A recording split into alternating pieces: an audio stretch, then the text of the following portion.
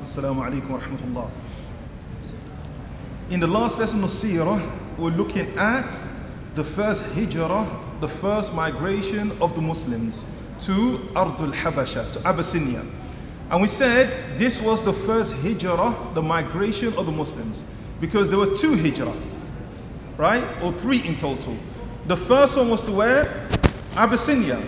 And the second one was to where? Abyssinia.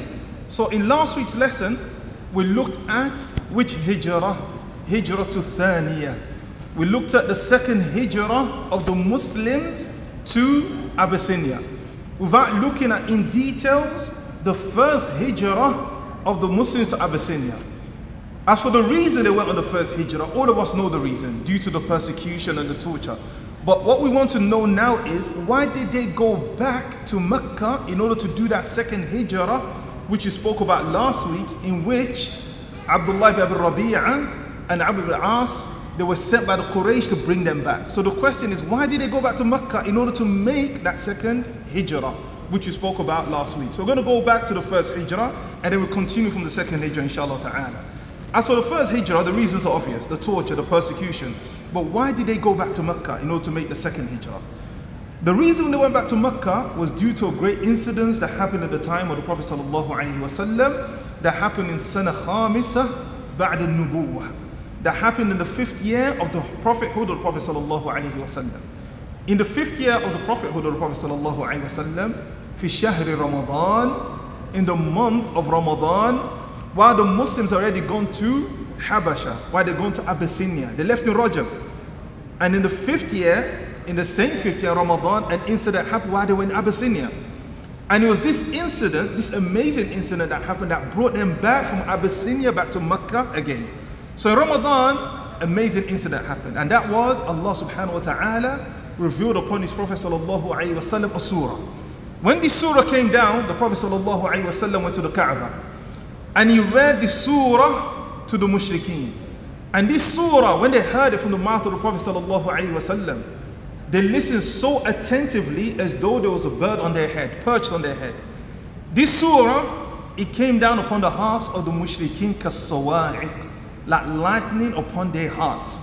They stood attentively without cutting off the Prophet ﷺ, interrupting him, arguing with him, and they listened attentively. And that surah that came down the month of Ramadan, in the fifth year of the Prophet of the Prophet ﷺ, was Surah An-Najm.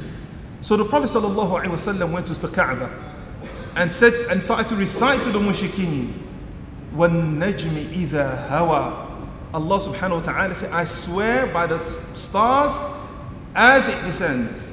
ما ضل صاحبكم وما غوى وما ينطق عن الهوى إن هو إلا وحي يوحى Your companion Muhammad sallallahu alayhi wasallam has not strayed nor has he heard gone astray nor has he erred وما ينطق عن الهوى He doesn't speak from his own desires إن هو إلا وحي يوحى This is revelation from Allah subhanahu wa ta'ala and the Prophet sallallahu alayhi wasallam continued to recite the surah until the Prophet sallallahu alayhi wasallam reached the saying of Allah subhanahu wa ta'ala أَفَمِنْ هَذَا الْحَدِيثِ تَعْجَبُونَ Is it concerning this hadith, this narration or this saying of Allah subhanahu wa ta'ala, this Quran ta'jabun, that you wonder وَتَضْحَكُونَ وَلَا تَبْكُونَ and you laugh and you don't weep instead وَأَنْتُمْ سَامِدُونَ and you're sporting then Allah subhanahu wa ta'ala and then the surah said فَاسْجُدُوا لِلَّهِ وَعْبُدُوا Prostrate to Allah and worship Him. At this moment the Prophet sallallahu alayhi wasallam he went down in sujood. And not only did the Prophet sallallahu alayhi wasallam go down in sujood, every single one of the mushrikeen they prostrated with the Prophet sallallahu alayhi wasallam. This is how much this ayat hit them. They went down in sujood with the Prophet sallallahu alayhi wasallam. There was not a single mushrik that stood up all of them were in sujood except for one of the mushrikeen and that was Umayyah ibn Khalaf and who's Umayyah ibn Khalaf? it was the slave owner of Bilal radiallahu anhu that used to torture Bilal as for Umayyah ibn Khalaf he was the only one still standing he put his hand into the dust and he put it on his forehead and said yakfin hada. That's enough for me. That's as far as I'm going to go. So when this incident happened it's an amazing incident that spread like wildfire. Amazing. That all the mushrikeen, due to the recitation of the Prophet ﷺ, so to Najm, and the order of Allah Azza went into sujood. There's some stories that have been narrated called Qissa al-Gharaniq that the Prophet sallallahu while he was reciting it, he mentioned al-Lata when Allah Ta'ala says, أَفَرَأَيْتُمُ اللَّاتَ وَالْعُزَّى That when Allah Ta'ala said that, that the Prophet sallallahu alaihi wasallam, تِلْكَ الْغَرَانِيكَ الْعُلَى These are the highest gods. These narrations are da'if, they're weak. The Prophet sallallahu alaihi wasallam never said such a thing. Ala kulli hal, when this incident happened, it spread like wildfire amongst the Arabs. And beyond the land of the Arabs, all the way to where? Abyssinia. And with stories and narrations and incidences, the more people there are in the incident or in the chain of narration, the weaker the story becomes. The more things are added and the more things are subtracted from that particular story. So now, the more people that are narrating it, narrating it, narrating it, by the time we reach Abyssinia, something was added to it. And that was added to it was what? The kuffar of Quraysh, they've all become Muslims. So based on this, the Muslims went back to Mecca and they realized it was not the truth. In fact, whilst they were away, they increased in their transgression against the Prophet sallallahu alaihi wasallam and the Sahaba. Because when they came back, they found the Prophet sallallahu alaihi wasallam once was at Kaaba doing tawaf, and the mushrikeen they gathered together and they surrounded the Prophet sallallahu alaihi wasallam, and they had an intent to harm him on this particular day. So they said to the Prophet sallallahu alaihi wasallam, "Anta ta'ib alihatina alihatana." Are you the one that insults our gods? ridicule our intellect, divide our community, call to your religion? And every single question the Prophet ﷺ say, Naam, I'm the one, I'm the one. And this enraged them. At this point, some of them started to push the Prophet ﷺ. Some of them started to hit the Prophet ﷺ. And one of them actually began to spit on the Prophet ﷺ. And Ibn Mu'ayt, he grabbed the Prophet ﷺ by his collar and started to strangle the Prophet ﷺ.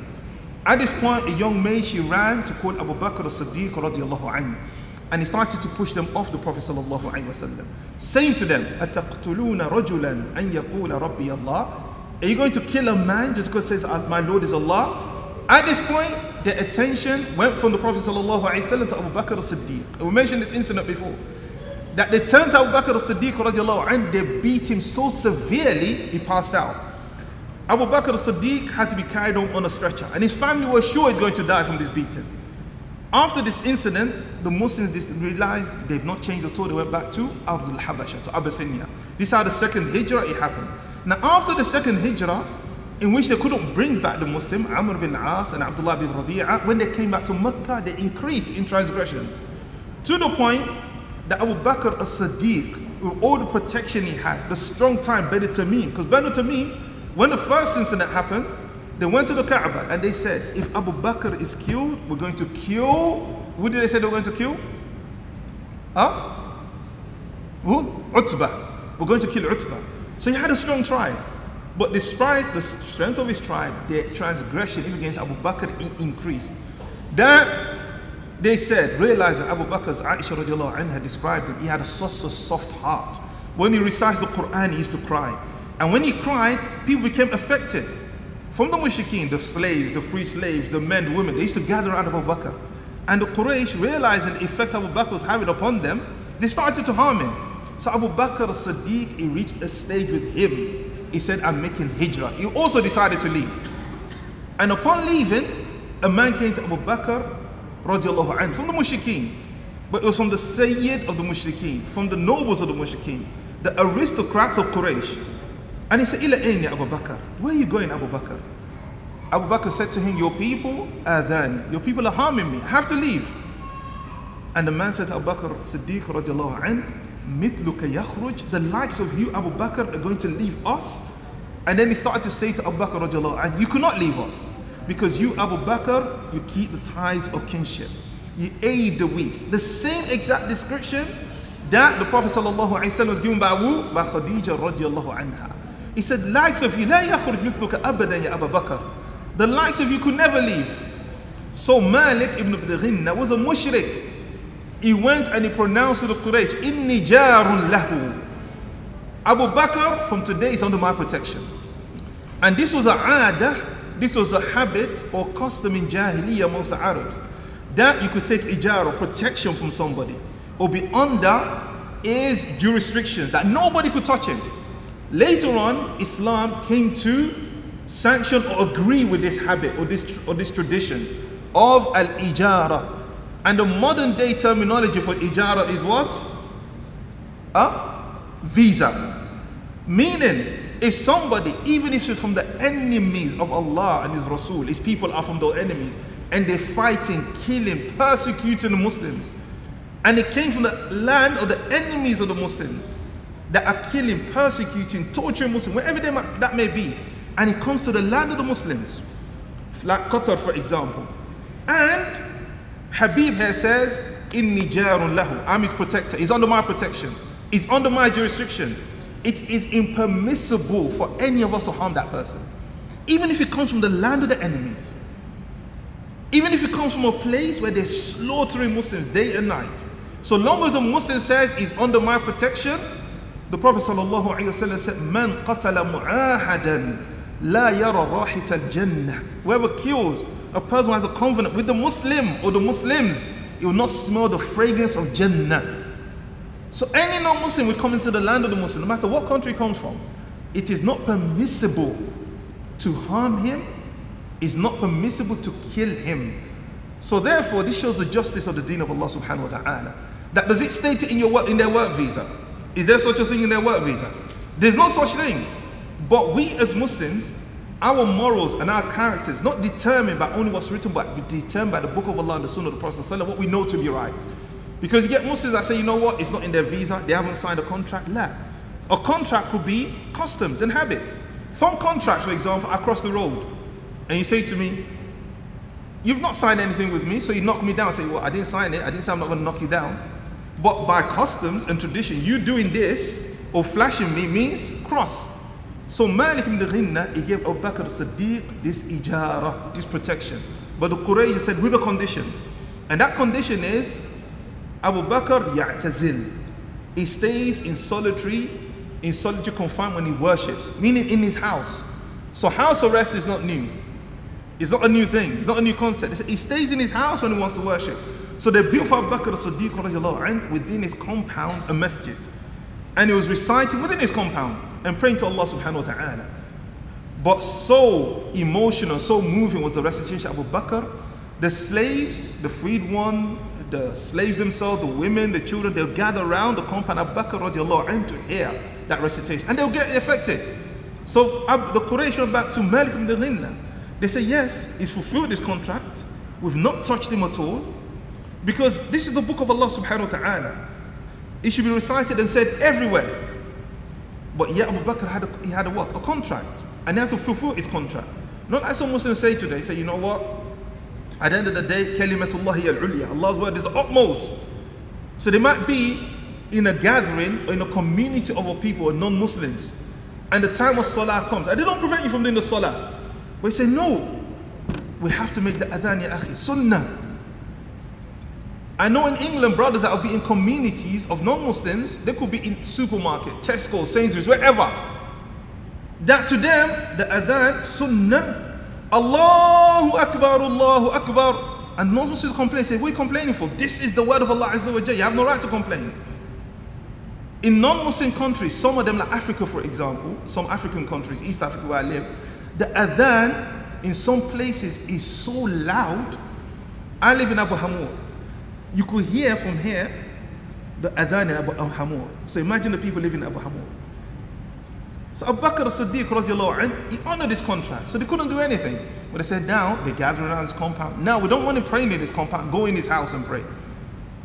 Abu Bakr as-Siddiq radiallahu he went to Malik ibn Ghinna and he said, Barakallah feek, thank you very much for your protection. ولكن أكتفي بجوار الله.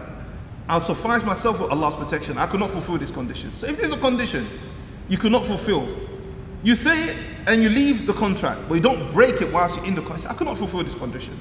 So the harms of the mushrikeen it increased, not only against Abu Bakr as-Siddiq, even against the Prophet sallallahu alaihi wasallam. And in the midst of all these harms, all these trials and tribulation after the second hijrah, Allah subhanahu wa ta'ala's favor came down upon the believers. The ni'mah of Allah subhanahu wa ta'ala, wa 'With the Islam of two men that caused a great paradigm shift. the Islam of two men in the midst of this. In the sixth year of the prophethood of the Prophet sallallahu alaihi in Dhil Hijjah, an incident happened. And that incident was the Prophet sallallahu alaihi wasallam again was at the Kaaba. And he started to debate with Abu Jahl. But this debate on this occasion became extremely heated. So Abu Jahl, he picked up a piece of stone and he threw it in the face of the Prophet sallallahu alaihi wasallam. And he injured and split the face of the Prophet sallallahu. A maid that witnessed this, she ran to Hamza, the uncle and the brother of the Prophet sallallahu through breastfeeding. And Hamza was coming back from hunting. Hamza radiallahu anh was known as a hunter. He used to hunt by himself in the desert. And he was known as Asad Quraysh, the lion of Quraysh. When he was coming back, he had his bow and his arrow in his hand. And when this maid told him this, Hamza radiallahu anh, he ran to the gathering Abu Jahl. Abu Jahl left the Kaaba. He was amongst his companions in their club. So Hamza radiallahu anh, he went to Abu Jahl and he insulted him with such a bad word. And then he said to him, Atashtum ibn akhi wa ana ala dini? You dare to insult my the son of my brother, meaning my womb, my nephew, and I am upon his religion? Hamza radiallahu an, he took his bow and he struck Abu Jahl in his head till his head split. He split his head. At this point, Banu Makhzum, because he's in their area now, he stood up. And who came to the support of Hamza? Banu Hashim. So now there was a standoff, a face-off between Banu Hashim and Banu Makhzum. At this point, Abu Jahl, he stood up and he said, leave him. Da'u Abu Umara. Leave Abu Umara. For I insulted his nephew in a bad way. To avoid war, because he looks with a far sight, Abu Jahl. That our issue now is not between Banu Makhzum and Banu Hashim, it's between Bitwu, us and the Muslims. Let's put our differences aside. Look at how far he looks into things. That unfortunately, some of the Muslims can't even think like this. That forget that. That's a small issue. The real enemy is Muhammad. And also, one ibarah we learn from this is the strength and the power of blood. They say blood is thicker than water. Because what caused Hamza to go there was what? Hamiyatul Jahiliyyah, chauvinism, and the fact that this is his family. How could you do that to my family? That they say based on this, never, ever, ever cut the ties of kinship. Ever. Because that tie of kinship, you have no idea when not only is it going to benefit you, but benefit the deen of Allah subhanahu wa ta'ala. There are people today that fight for the rights of Muslims, not because they're Muslims, because their families are Muslims. And their family, they've seen the goodness Islam has done for them. So Hamza anh, he said, how could you do insult him upon his deen? Now the thing that struck the Muslims is not the fact he hit Abu Jahl, the fact that Hamza, the Asad of Quraysh, say I'm upon his deen. This is the thing that struck the Muslims. And later on, Hamza radiallahu began to reflect upon his statement. Because he didn't say truthfully, he's not upon the deen of the Prophet sallallahu alayhi wasallam. So he started to reflect upon his statement. Then he went to the Prophet sallallahu alayhi wasallam and he said to the Prophet sallallahu alayhi wasallam, I said something which was not truthful. Ud'u Allah li. Pray to Allah for me. And yashrah sadri lil Islam. To expand my chest to Islam. And the Prophet ﷺ, he made dua for Hamza and Hamza accepted Islam wholeheartedly and with full conviction. And when Hamza radiallahu when he accepted al-Islam, at this point the mushrikeen, the polytheists, they could never ever harm the Muslims in the presence of Hamza. That was a victory. When Hamza was there, nothing could happen. When Hamza was there, radiallahu. Now, when Hamza accepted Islam, three days later in Dhul Hijjah, another victory for Islam came, which caused a paradigm shift. And that was Islam of Al Faruq Umar ibn al Khattab anhu. Three days later. And Umar ibn al Khattab was such a great, is Islam was such a great thing for the Muslims. Because not only due to the strength, the braveness of Umar but due to how impossible for them to accept that Umar will become a Muslim. Because Umar anh, prior to Islam, used to be from those who tortured, persecuted the Muslims. And they feared him greatly, Umar anh. Before al-Islam, he used to persecute the Muslims. But there were signs and indications And one of those signs and indications was the dua of the Prophet wasallam that Allah please guide Ahabbu Umarain, the most beloved of the two Umar. And there were two Umar. There was Umar, who is who? Abu Jahl, and Umar ibn al-Khattab. So the Prophet said, guide which one of them is most beloved to you. Secondly, this Umar, there were signs and indication, even though people thought he would never become a Muslim. And one of those signs and indication was when the Muslim were going to Habasha, there was a Sahabiya, and name was Umm Abdullah. Umm Abdullah, when she was leaving to go to Ardul Habasha, Umar saw her and he saw the Mustada'afin, the weak, and those who have been expelled and been tortured. So Umar went to her and said, "Ila'in, where are you going? She said, Your people have harmed us, tortured us, kicked us out of our land. We're going to Ardul Habasha. She didn't say Europe, she said you. Umar radiallahu an, he looked at her with pity, sympathy, and he said to her, Sahibakumullah. May Allah be in your company. Umar actually made dua for her. She was shocked. When her husband came back, Umarah Abu Abdullah, she said to him, Lo ra'ayta Umar. If you had seen Umar, ra'fatahu wa rifqahu, his gentleness, his pity and sympathy, if you had only seen Umar. Abu Abdullah, Umar said, Wallahi, لو أسلم حمار عمر لم يسلم عمر by Allah if the donkey of Umar became a Muslim Umar would not become a Muslim this is how far it was from their mind subhanallah and this shows it's not befitting in fact it's not permissible to ever give up concerning the guidance of any Muslims no matter what is reached from sins, disobedience of Allah Azza wa Jal, is a fasiq, is a fajr, and that goes to our children, our wives, don't ever give up and the kufr of a kafir. Don't ever give up that a person will never become a Muslim. Because when we're talking about the Hijr al-Habasha, one of the leaders of the Quraysh, the Mushrikeen, the emissaries they sent to bring back the Muslim who? Amr ibn As, who later on became from the best of the Sahaba and the leaders of the Muslims. The Amr ibn As, he had this leadership quality from Jahiliyyah. And they said born leaders are 2%. Leaders are usually made, but it was one of those born leaders. ده عمر رضي الله عنه said لا ينبغي لعمر أن يمشي في الأرض إلا أميرا Amr bin As is not befitting he walks upon the face of the earth except as a leader. He's always going to be a leader. Amr bin As, look at how much he persecuted the Muslims and did everything to harm the Muslims, but yet became from the best of the companions of Prophet wasallam. And he's the one understanding how much he hurt and persecuted the Muslim. That when he gave his pledge of allegiance to the Prophet wasallam, he took his hand out of the hand of the Prophet sallallahu He said, "I'm not going to accept Islam except ashtarit with a condition." And what is that condition? The Prophet wasallam asked him. He said that Allah Taala forgives me my previous sins, what I did to harm the Muslims. And the Prophet ﷺ said, Ala ta'alam ya Amr, anna islam yahdimu ma qabla. Do you not know Islam destroys everything that came before it? You're forgiven. So Umar bin Khattab, they never think, thought he'd become a Muslim. And even the way he became a Muslim was due to his enmity of the Prophet ﷺ. There's many riwayat, many narration concerning the Islam of Umar and in detail.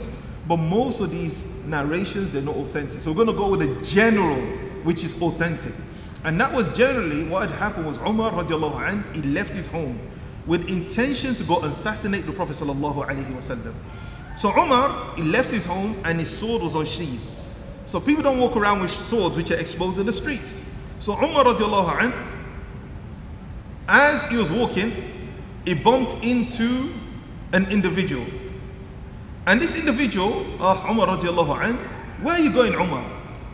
And he said to Umar, Umar radiallahu anh, he said to him, I am going to kill Muhammad sallallahu alayhi wa sallam. So he's actually going to assassinate the Prophet ﷺ. And this individual, he said to him, okay, if you do that, now it's reasonable, Umar. What are you going to do with Banu Zuhra and Banu Hashim? Because if you kill him, Banu Zuhra and Banu Hashim will come for you. So now Umar looked at this individual, because it's true. Banu Zuhra, the mother of the Prophet ﷺ's tribe, and Banu Hashim, the father's tribe, they will come for you. So Umar looked at this person in anger he says, Sabata ant? It was a derogatory term they used for Muslims. That you've become one of them, haven't you? You're one of the Muslims now. Because he saw that statement as defending the Prophet. So this person now, he knows the anger of Umar and the rage of Umar. So he diverted Umar. He said, Should I not show you shay a'jab min dhalik? Should I not show you something more stranger than that? More amazing that you think I'll become a Muslim? He said, Ukhtuka Fatima, your sister Fatima bin Khattab, and your brother-in-law was his cousin at the same time, Sa'id ibn Zayd, one Ashim Bashari bi Jannah. He said, both of them, they become Muslims. So Umar, that set him on a diversion. He was going to the Prophet ﷺ to kill him. Now he said, Subhanallah, my own family. So now Umar radiallahu he started to go to the house of his sister and he knocked on the door. But before knocking on the door, they said Umar an, sami'a haynama. He heard a sound. And the sound he heard was Khabbab ibn al-Arat reading the Quran to Fatima and to her husband. So he heard a sound before knocking on the door, and then he knocked on the door. When he knocked on the door, they said, was Ibn Khattab. At this point, Khabbab al-Arat, he hid. He stood up and hid. When Umar entered, the first thing he asked was, What is this sound that I've heard in this house today? What is this sound? So, at this point, he kept quiet. The brother in law of Umar, the cousin of Umar. So Umar said to him, لَعَلَّكُمَا صَبَعْتُمَا Maybe both of you, you're my sister, you become Muslims. In a derogatory way. And then Sa'id ibn Zayd said to him, أرأيت عمر Umar, what do you think? إن كان الحق في غير دينه If the truth is in other than your religion. And here, this introductory question to cause Umar to think isn't what? It's a confession that I'm a Muslim. Because if you're not a Muslim, say I'm not a Muslim. Umar radiallahu an, كان رجلا عاقلا, very intellectual and intelligent person. When he said this statement to him, what do you think if the truth is other than your religion? Umar pounced on him immediately and started to punch him. He was he had him on the floor. Now the sister Umar an, she jumped on who? She jumped on Umar to get Umar off her husband. And this is a natural instinct, they say, in a woman. Even if her and her husband are arguing and they're fighting, and you go, and I've seen this so many times, to defend her, and you go as far as hitting the husband, she will attack you, even though you're defending her. So the natural instinct was to grab Umar. So Umar, he flung and he hit her in her face. And when he hit her in her face, he caused her face to bleed. At this point, Umar radiallahu an, he became embarrassed and he thought about his action. He paused. And when he paused, he said to his sister, or before saying to his sister, his sister, due to women's emotion, likewise, she exploded. She exposed everything. Because women, when they're emotional, they don't care about the consequence anymore. She said, Na'am, the truth is other than your religion. Ashhadu an la ilaha illallah wa ashhadu anna Muhammadan Rasulullah. She exploded on Umar. So Umar said, Show me what you were reading before. She said, La, innaka najis. You're impure, you're not you're uh, filthy, you cannot read it until you go and take a bath. So Umar radiallahu anh, he went, he took a bath. And he read Surah Taha.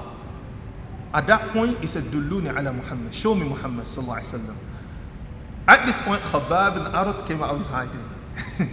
and he said, I'll take you to Muhammad sallallahu alayhi wa But his sword was still what? Unsheathed. And he went to the Prophet sallallahu to Dar Arqam ibn Abi Arqam. So when the Sahaba, they see Umar approaching with a sword at the same time, they ran in and they told the Prophet ﷺ that Umar is approaching. And they told Hamza. And they said, if he wants evil, we reply with evil. If he wants good, we reply with good. As Umar radiallahu ta'ala and he entered upon the Prophet ﷺ, the Prophet ﷺ immediately he grabbed him. And he started to shake Umar. Imagine Umar. The Prophet ﷺ started to shake him and said, أما الآن يا ابن الخطاب and Tuslim. As the time not reached Ibn Khattab for you to become Muslim, ألا تخشى ابن الخطاب Do you not fear ابن الخطاب أن ينزل الله تعالى عليك ما أنزل على وليد بن مغيرة Do you not fear Allah will send down upon you that which is sent down upon Walid ibn Mughira. And when Allah Ta'ala sent upon Walid ibn Mughira, ذَرُنِّي وَمَنْ خَلَقْتُ وَحِيدًا Leave me alone with the one I created alone, ibn Mughira. وجعلت له مالا ممدودا وبنين شهودا ومهدت له تمهيدا ثم يطمع أن أزيد These ayat was sent down upon Walid. Do you not fear this thing was sent down for you? At this point, Umar radiallahu ta'ala an, he accepted al-Islam. And from that day onwards, Abdullah bin Mas'ud said, ما زلنا أعزاء we remained honored today because of the Islam of Umar radiallahu ta'ala and because things changed tremendously. Because usually, even though the Prophet was calling openly, the Muslims didn't, they didn't make their deen manifest or call to their deen openly or say, I become a Muslim. But the Islam of Umar was unique. This is the first time somebody became a Muslim and openly he went to tell everybody, not just everybody. As soon as he took his Shahada, he went to the house of Abu Jahl and he knocked upon the house of Abu Jahl and he said, Aslamtu, I become a Muslim. Abu Jahl, he looked at Umar, he said, Qabbahak Allah wa qabbaha Allah ma jitta bi. May Allah curse you on what you come with. He slammed the door in the face of Umar. He couldn't do anything else to Umar. So Umar now started to go to all the noble, the aristocrats of Quraysh and telling them one by one. And the same reaction. They couldn't do nothing but to slam the door in his face. But this wasn't enough for Umar. So Umar thought, okay, I'm going one by one. I want to do something that everybody will know. So there was a man called Jamil ibn Muammar al-Jumahi. This person or this individual was on Instagram, Facebook, BBC, Al Jazeera, CNN, all in one. Twitter, human Twitter. So Umar radiallahu anh, he went to Jamil ibn Muammar al-Jumahi. He said, Bayni wa baynak, between me and you. Because he knew his nature. He said, between Bayni wa baynak, Aslam, between me and you. As soon as Umar said, Aslamtu, he said, Ibn Khattab saba'a. Ibn Khattab has become a Muslim. And he didn't just shout loud. He was said, kana yajri. He was running and saying it. And Ibn Umar, uh, Umar Khattab was running behind. He said, Kadhabt, you're a liar. Aslamt, I've become a Muslim. Not so bad. So he kept telling everybody. The whole, just this one person, walking Twitter, the whole of the Quraysh they knew. And they came to attack Umar radiallahu anhu. When they attacked Umar, and there's great many of them, Umar was hitting and they were hitting him. And Umar, what he did in order to make them back off each and every single time, he grabbed one of them. I can't remember the one that grabbed from the mushrikeen. And he put his finger, he stuck it in his eye, in his eye socket. So now when they will come near him, he'll stick it in further, they'll back off. The person will scream. But then the word of Mecca, the villas of uh, the valleys of Mecca were now full of army against Umar alone, the whole army. And one of the nobles of Quraysh, his name was Ibn Wa'il, he came and he was from another tribe, a Suhami tribe. And Umar was his tribe? Adi. But they had a covenant or treaty with them to protect them. So he came and said, Leave Umar radiallahu anhu. You know, because there's a whole army waiting for him. They left Umar radiallahu anhu. Then Umar went to the Prophet sallallahu alayhi wasallam. And he said, Why are we hiding in Dar Arqam, maybe Abi Arqam? What are we hiding there for? Alasna ala al-haq. Are we not upon the truth? Hayyan wa mayyitan. Whether we're alive or dead. Are we not upon the truth? Why are you hiding here? He said this to the Muslim. Why are you not hiding? Come out. At that point, he said the Muslims, they left Arqam ibn Abi Arqam in two rows. One was led by Umar bin Khattab an, and the other by Hamza. The mushrikeen were shocked. They went all the way to the Kaaba for the first time in Tawaf. That the Sahaba said, Bi Islam Umar dhuhar al-Islam. With the Islam of Umar, Islam became apparent. وَطُفْنَا الْبَيْتِ وَجَلَسْنَا عِنْدَ الْبَيْتِ We were able to make Tawaf and to sit at the Kaaba in peace. So these two roads, they went to the Kaaba and they did a Tawaf. Now, they realized we could not physically, with the presence of Umar and the presence of Hamza, harm the Muslim physically. They took on another strategy. So they tried everything Cold War, house arrest, torture. the strategy, one most one of the most filthiest and disgusting strategies, is what? Blockade and a sanction. But the strange thing with this blockade was they didn't just blockade the Muslims, they took on a manhaj or methodology which we think is new the manhaj of you're with us or against us.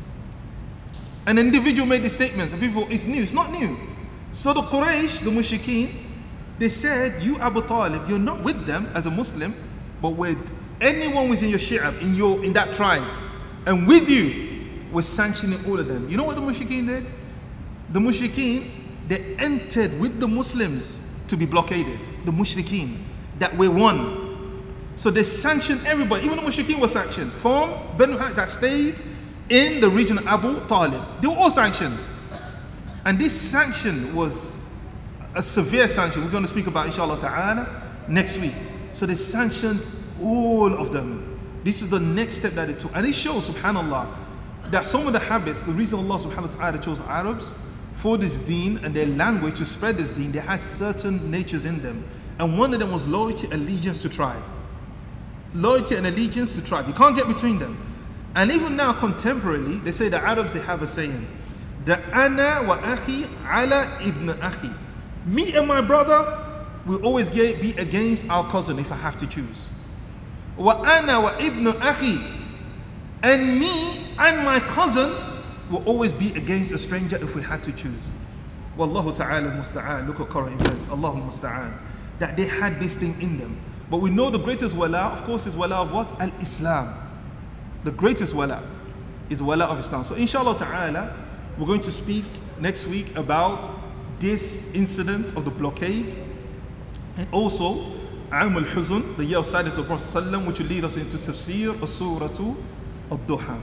سبحانك اللهم وبحمدك اشهد ان لا اله الا انت استغفرك واتوب Any questions inshallah